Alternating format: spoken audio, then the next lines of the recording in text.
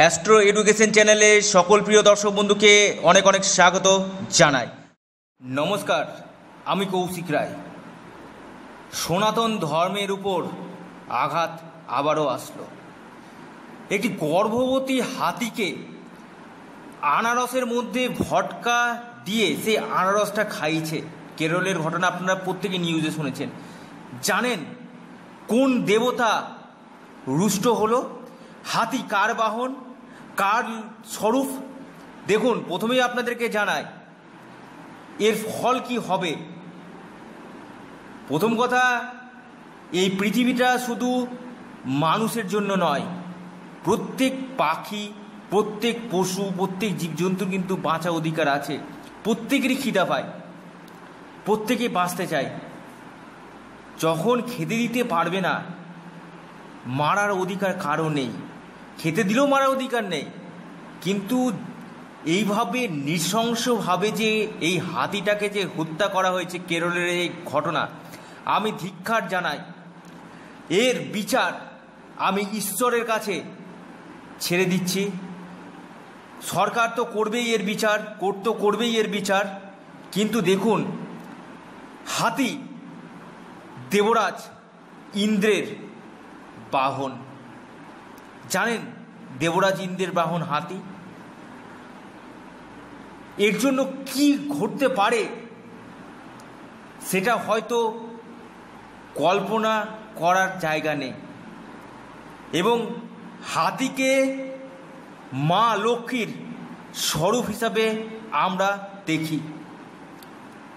হিন্দু শাস্ত্রে সনাতন ধর্মের উপর এই যে আঘাতটা আসলো, এই হাতিকে নৃশংসভাবে হত্যা করা।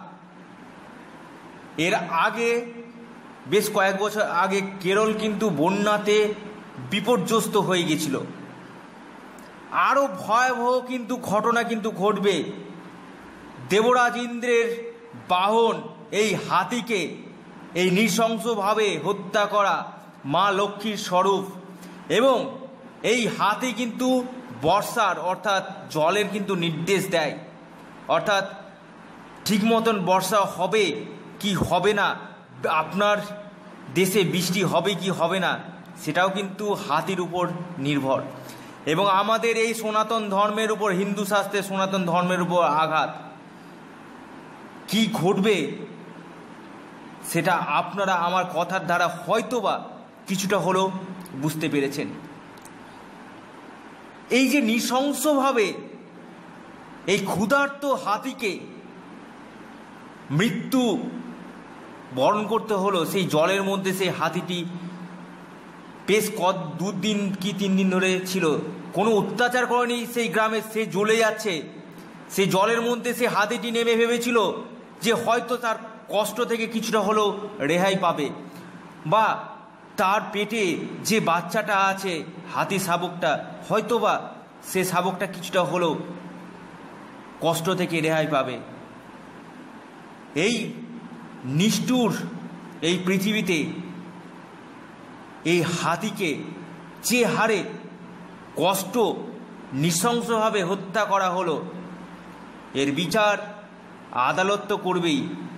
কিন্তু এর বিচার করবে দেবরাজ ইন্দ্র। মা লক্ষ্মী, গণেশ, আমি আপনাদেরকে খুব দায়িত্ব নিয়ে কথাটা বলে গেলাম। এর ফল সনাতন ধর্মের উপর আঘাত যখনই এসছে, তখনই এসছে কিন্তু প্রলয়। তো এর যে কি ফল হবে, আমি আপনাদেরকে এখন আমি সম্পূর্ণরূপে জানালাম না। কিন্তু আমি আপনাদেরকে বলছি, এ কিন্তু একটা ভয়াবহ অঘটনের সূচনা কিন্তু নির্দেশ করছে। এটা আপনাদেরকে আমি জানিয়ে গেলাম। আমি ধিক্কার জানাই এই ঘটনাকে। আপনারা কি বলেন? এই ভিডিওটি আপনারা সম্পূর্ণ দেখে কমেন্টস বক্সে আপনাদের মূল্যবান কমেন্টস আমি চাই। আমার যে প্রত্যেক দিনের ভিউয়ার্সরা আছেন, এর প্রতিবাদ আপনারা প্রত্যেকেই আমার এই কমেন্টস বক্সে জানান। ততক্ষণ পর্যন্ত সকলে ভালো থাকুন, সুস্থ থাকুন, নমস্কার, ধন্যবাদ।